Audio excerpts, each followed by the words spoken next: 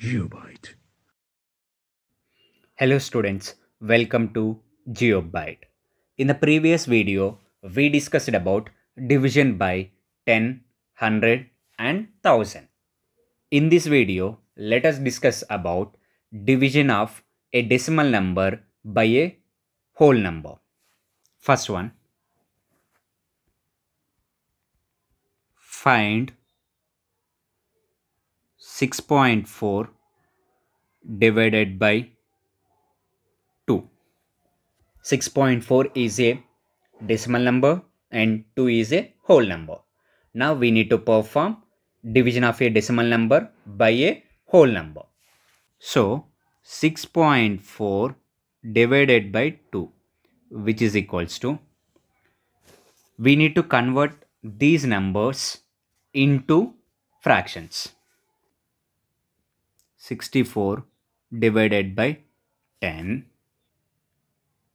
divided by 2 which is equals to 64 divided by 10 divided by 2 by 1 which is equals to 64 by 10 so we need to find the reciprocal for 2 by 1 so if you find the reciprocal then we'll be getting 1 by 2 reciprocal of 2 reciprocal of 2 by 1 is 1 by 2 so we are getting 64 by 10 into 1 by 2 which is equals to we can write it as 1 by 10 into 64 by 2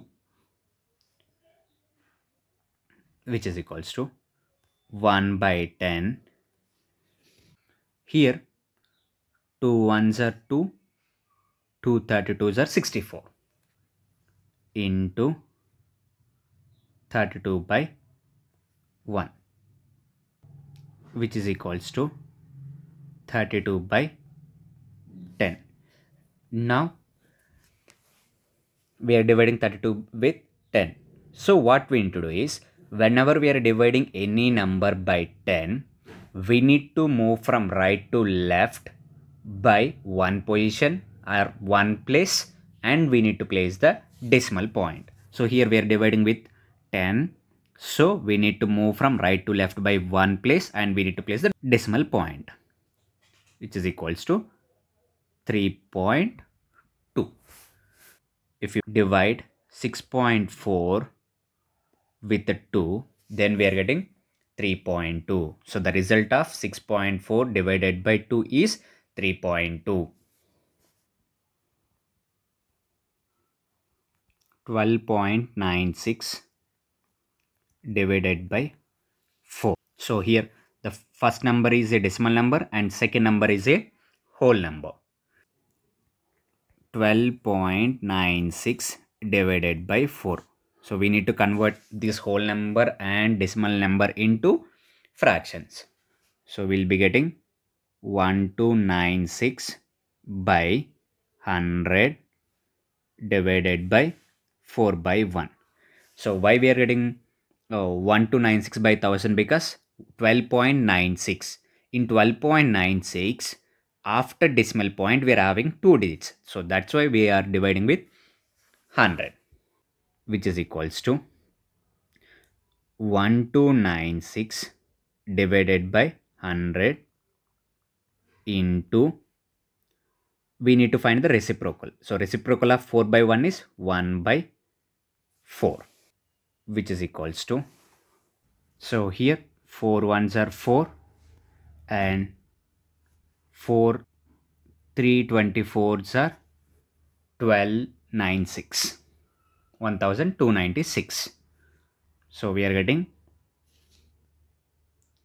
324 divided by 100 if we are dividing any number by 100 we need to move from right to left by two places and we need to place the decimal point. We'll be getting 3.24 if we divide 12.96 with 4 then we will be getting 3.24 35.7 divided by 3 we have 35.7 divided by 3 so first step is we need to convert it into fractions. So we'll be getting 357 by 10 divided by 3 by 1 which is equals to 357 divided by 10 we need to find the reciprocal. So so reciprocal of 3 by 1 is 1 by 3 into 1 by 3 which is equals to here. 3 ones are 3 and 3 1 1 nines are 357 so we are getting 119 by 10. So here we are dividing with 10. So if we divide any number by 10, then what we need to do is we need to move from right to left by one position and we need to place the decimal point. So we'll be getting 11.9. 11.9. So the result of 35.7 divided by 3 is equals to 11.9. 25.5 divided by 3. We have 25.5 divided by 3. So the first step is we need to convert it into fractions. 255 divided by 10 divided by 3 by 1 which is equals to 255 by 10 into 1 by 3. So reciprocal of 3 by 1 is 1 by 3. 3 ones are 3. 385s are 255 which is equals to 85 by 10 which is equals to 8.5. So the result of 25.5 divided by 3 is 8.5. 43.15 divided by 5. We have 43.15 divided by 5 which is equals to the first step is we need to convert it into fractions. So if we convert it into fractions then we'll be getting 4315 divided by 100 divided by 5 by 1. 4315 divided by 100 we need to find the reciprocal. So reciprocal 5 by 1 is 1 by 5 which is equals to here 5 ones are 5 8 63 is a 4315 so we are getting 863 by 100. So whenever we are dividing any number by 100, we need to move the decimal point from right to left by two places. So if we are moving from two places, then we'll be getting 8.63. So the result of 43.15 divided by 5 is 8.63. 82.44 divided by 6 we have 82.44 divided by 6 first step is we need to convert it into fractions. So we'll be getting 8244 by 100 why? Because after the decimal point we are having two digits. So that's why we are dividing with 100 divided by 6 by 1 next we need to convert it to reciprocal. 8 to 4 4 by 100 into 1 by 6 which is equals to here 6 ones are 6 6 1 3 7 4s are 8 to 4 4 we are getting 1 3 74 divided by 100 so we need to move from right to left by two places and we need to place the decimal point.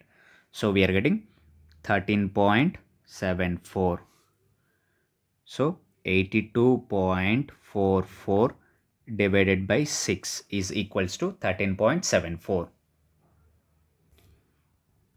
15.5 divided by 5 so we have 15.5 divided by 5 which is equals to we need to convert it into fractions. So fractions is 155 by 10 divided by 5 by 1 which is equals to 155 by 10 into 1 by 5 this is reciprocal right? Next. Here 5 ones are 5 5 31s are 155 31 by 10 so 31 by 10 is nothing but 3.1 so the result of 15.5 divided by 5 is 3.1 126.35 divided by 7 we have 126.35 divided by 7 which is equals to the first step is we need to convert it into fractions.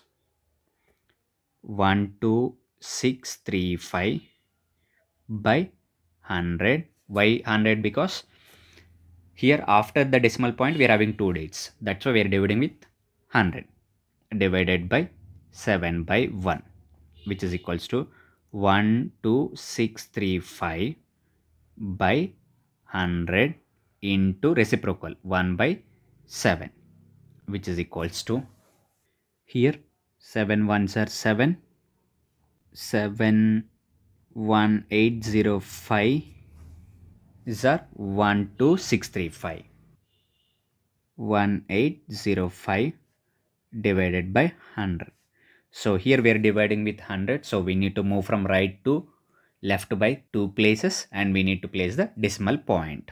So we are getting 18.05. So the result of 126.35 divided by 7 is 18.05. The remaining topics will be covered in the next video. Thank you for watching. Please do like, share, comment and subscribe to GeopByte. GeopByte.